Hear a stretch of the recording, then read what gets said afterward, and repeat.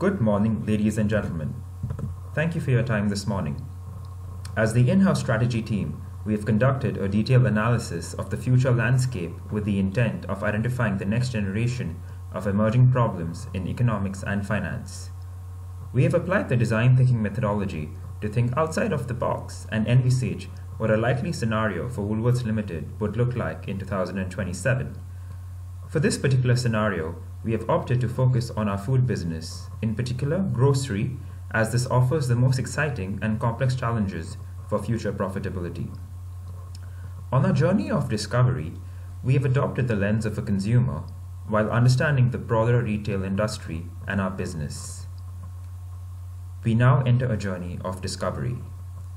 The Australian retail sector has grown considerably over the last 10 years, with the industry increasing in total revenue from $81.1 billion in 2007 to $105.3 billion in 2017. Over the past 10 years, Woolworth's market share has reduced from 40.9% to 35.7%. This market share has been predominantly taken up by Aldi. While there has been overall growth in the industry, overall profitability has decreased, largely due to the emergence of hardcore discount retailers like Aldi and the ongoing price war between the duopoly. The following trends and disruptions have been identified. Technological enhancements have cultivated efficiencies through the supply chain with the notable introduction of systems. Self checkout technology has reduced operating costs through reduction in human capital. Online shopping and home delivery technology is an emerging trend, including the impending entry of Amazon.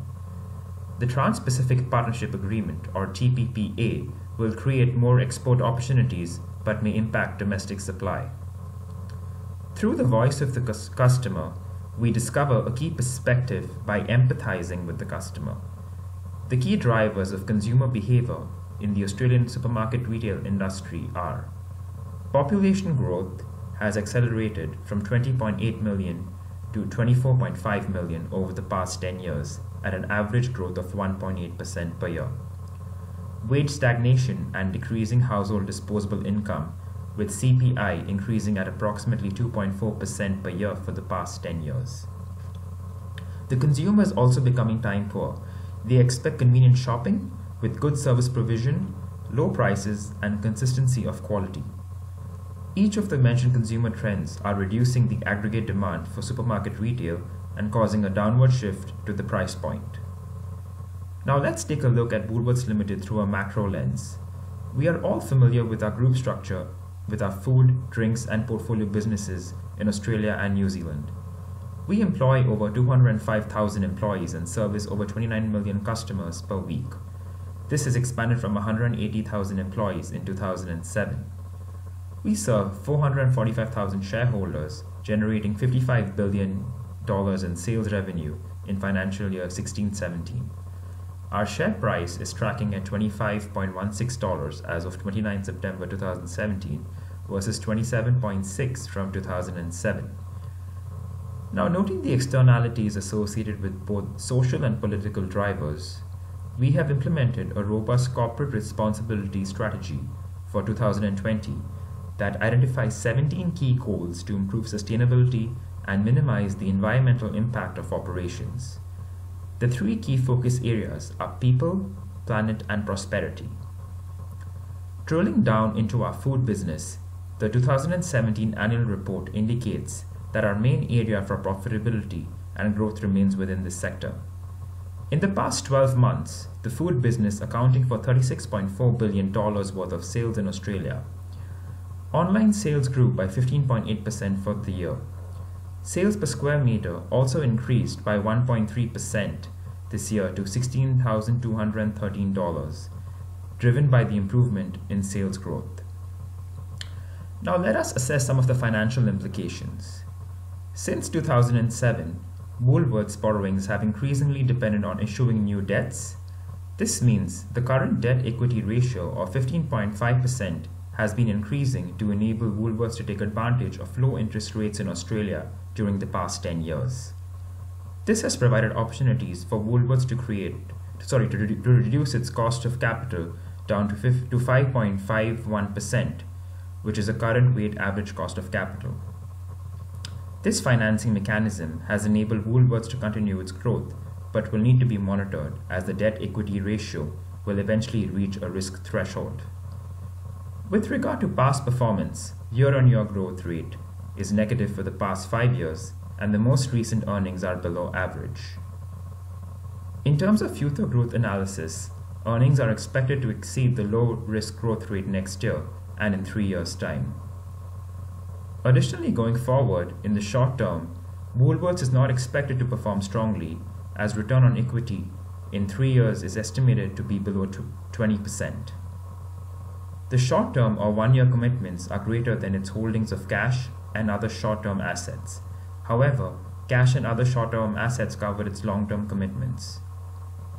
So, what does this mean? Our business needs to increase efficiency to increase capital to invest into future change initiatives. Our responsibility is to ensure the longevity of our business, noting pending disruption and continued economic pressures. We are committed to our customer and ultimately generating profit for our shareholders. So, our challenge statement is How do we revolutionize our food business to achieve a sustainable and lean operation that mitigates disruption while enhancing the customer experience? We will tackle this challenge through the following concept and prototype. Firstly, to reduce human capital costs across all store locations and logistic nodes.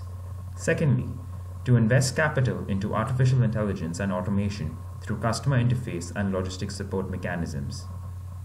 Thirdly, integrate AI and automation to promote lean logistics or end to end processing. Maintaining customer interaction through the use of AI or virtual customer assistance in store. Fourthly, increasing online grocery capability to compete with disruption from Amazon. And lastly, continuing the voice of customer feedback loop in conjunction with voice of supplier and voice of team. The impact of successfully implementing the strategy will result in significant operational efficiencies driven by a reduction in human capital. For the purpose of demonstrating this impact for Woolworths, we have prepared an indicative net present value or NPV model. To build the model, we have assumed that over the next 10 years, each store will reduce the number of employees by 50%. We have also assumed that this impact will be incrementally transitioned over the coming 10 years.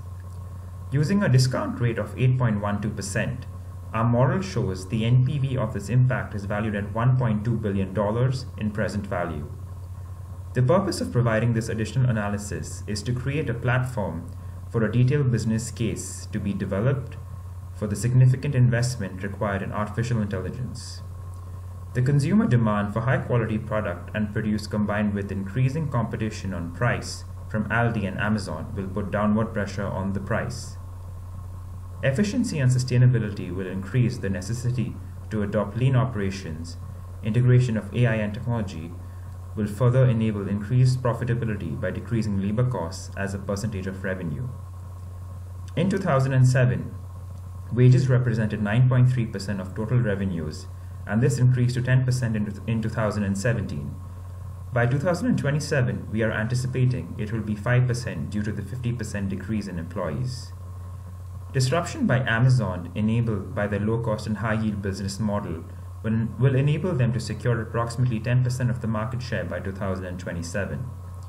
With the adoption of our proposed concept, we anticipate Woolworths maintaining its dominant position in the market with market share of 29% in 2027. However, we need to be cognizant of the risks associated with IP, public perception, externalities, human factors, and the shifting landscape of global politics and economics. For example, Donald Trump withdrew the US from the TPP agreement, which caused significant delays to the agreement being finalized, delaying opportunities for local Australian producers to expand their exporting practices. While Woolworths has a robust contemporary strategy, it is imperative that we invest time, resources, and intellect into posturing the business to best deal with emerging problems of the future. While 2027 is a decade away, we must now engage in change management initiatives to reduce our cost structures and become lean through integration of AI and technology. Moving forward, our customer remains our number one focus, so we will not compromise service provision or our value offer. In fact, we will continue to enhance it while concurrently appeasing our shareholders through generous dividends. By thinking outside the box and challenging the status quo, Woolworths will be postured for longevity and success while continuing to serve our customers for generations to come.